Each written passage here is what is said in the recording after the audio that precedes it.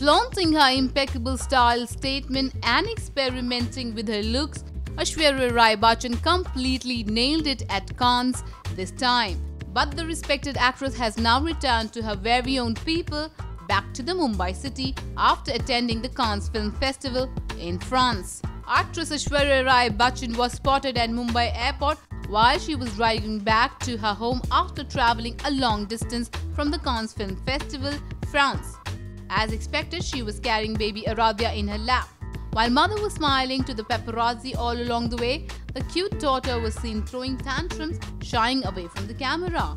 Aishwarya's stint at 2016 Cannes Film Festival proved to be a memorable one. She was constantly trolled on social media side by her fans and her purple-colored leapy that she opted for during the premiere of her film Sarbjit became the talk of the town. This time, the actress at Cannes dared to move out of her comfort zone and took risk and completely rocked the edition.